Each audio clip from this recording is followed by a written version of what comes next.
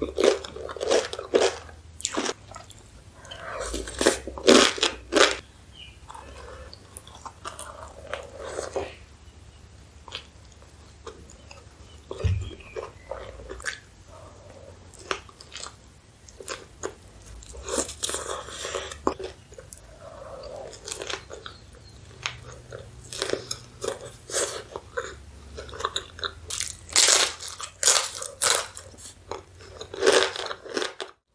I have hot dogs today.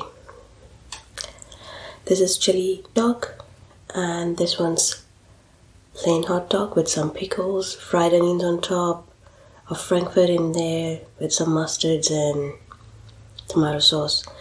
Here I have some nachos, like corn chips, and I made myself some cheese sauce with some pickles in it.